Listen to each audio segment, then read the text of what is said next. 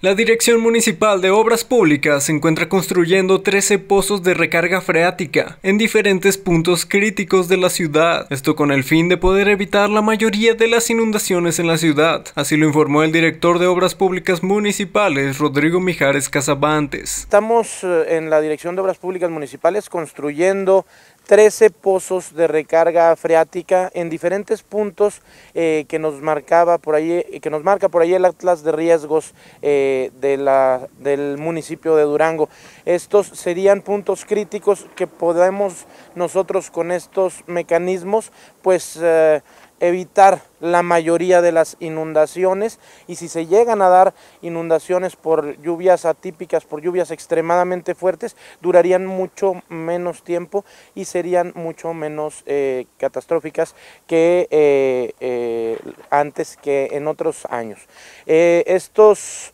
pozos de recarga freática tienen una inversión superior a los 3 millones de pesos en la totalidad de los 13 pozos que están repartidos en diferentes puntos de la ciudad y se sigue trabajando en el diseño y en la conformación de más para el presupuesto del 2021. Bueno, mira, estos pozos eh, regresan el agua de lluvia a la, a la, madre tierra, al manto freático del Valle del Guadiana, en un tiempo mucho menor de lo que lo haría normalmente cualquier área eh, permeable, en un tiempo de aproximadamente la mitad del tiempo y eh, están dotados de eh, ciertos artefactos para que el agua que baje a la madre tierra pues baje lo más limpio posible para que no haya un,